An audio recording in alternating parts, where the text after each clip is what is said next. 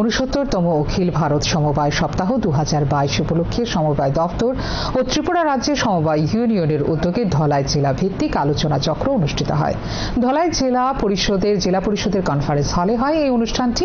অনুষ্ঠানে প্রদীপ প্রজ্বলন করে শুভ সূচনা করেন ত্রিপুরা স্টেট কোঅপারেটিভ ইউনিয়নের চেয়ারম্যান রণজয় কুমার দেব।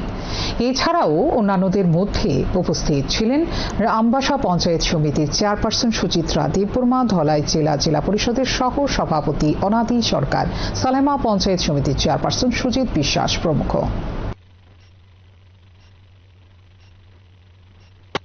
সুন্দরভাবে অপারেটিভ সম্পর্কে ফ্যাক্ট অ্যান্ড ফিগার তুলে ধরেছেন।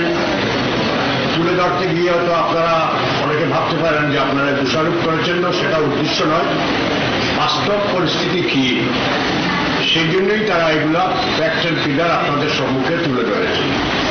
আমাদের আপনারা যারা হলে আছেন আর মঞ্চে যারা আছেন, আমাদের সবার একটাই উদ্দেশ্য যে আমরা কি করে সবাইকে এগিয়ে নিয়ে কর্মসংস্থান তৈরি করতে পারি। তো বন্ধুগণ উনষাট উনসত্তরতম সপ্তাহ পালন করা হচ্ছে।